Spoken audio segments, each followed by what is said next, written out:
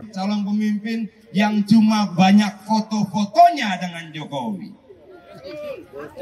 Tapi belum tentu dia memahami apa yang diinginkan oleh Jokowi. Belum tentu dia mengerti apa yang diinginkan oleh Jokowi.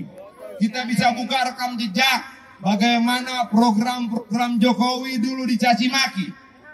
Dibilang presiden pelangap longo, dibilang presiden yang tidak mengerti apa-apa, dibilang presiden yang cuma mau infrastruktur dan rakyat tidak mau infrastruktur karena rakyat tidak mau makan tembok. Mereka yang menghina Presiden Jokowi sekarang memuji Jokowi tiba-tiba. Kita perjuangkan. Dan untuk itu saya percaya saya di bawah terik matahari 34 derajat. Bapak-bapak, ibu-ibu di bawah terik matahari 34 derajat tidak bergerak. Karena kita sedang mau menyambut harapan. Ketemu dengan ketua partai. Gonta ganti lagi elit partai bertemu dengan elit partai. Ganjar Pranowo tidak perlu seperti itu sering-sering.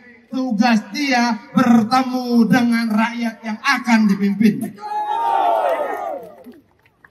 Saya, Pak Erwin, saat ini membawa Pak Ganjar untuk masuk ke pasar-pasar. Belusukan seperti Pak Presiden Jokowi. Untuk masuk ke gang-gang. Kita pertontonkan Pak Ganjar, ini rakyatmu. Rakyatmu bukan mereka yang selalu wangi tubuhnya. Rakyatmu bukan cuma mereka yang menggunakan cincin berlian di tangannya.